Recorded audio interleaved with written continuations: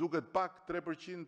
Ndërtuesit janë përplasur me kryeministrin Edi Rama për taksën e referencës në tryezën që qeveria ka zhvilluar me biznesin për lehtësimin e procedurave administrative. Ndërtuesit e kanë cilësuar rritjen e çmimit të referencës në mes të vitit, një vendim që mund t'i rrezikojë atyre falimentimin, por kjo ankesë nuk është marrë parasysh nga kryeministri, i cili e justifikoi me shkallën e lartë të informalitetit.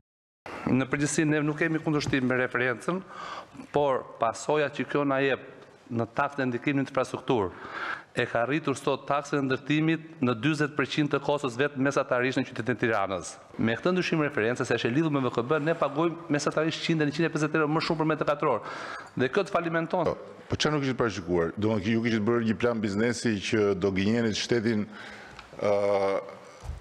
pambarim, Edhe do shisnit apartamente me dy mijë euro edhe do t'i deklaronit të shitura me tetëqind e pesëdhjetë euro? Këtë s'kishit parashikuar ju? Në plan biznesi e keni ju edhe evazionin? Pas debatit, kryeministri Edi Rama zgjodhi të largohet nga takimi, por kanë qenë sërish ndërtuesit, që kanë paralajmëruar situatën e rëndë ku po zhyten për shkak të kësaj takse shtesë, duke paralajmëruar edhe largimin nga vendi. Atëherë, më vjen keq që kryeministri u largua dhe nuk na dëgjon. Çfarë faji kemi ne që të bëhemi peng i taksës së re?